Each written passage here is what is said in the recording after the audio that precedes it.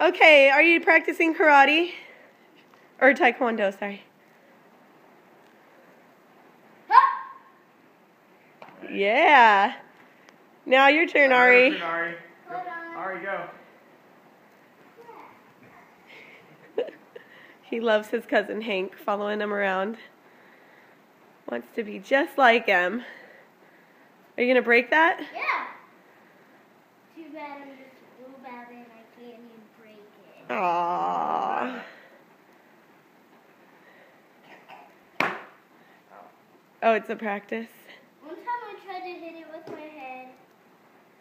head.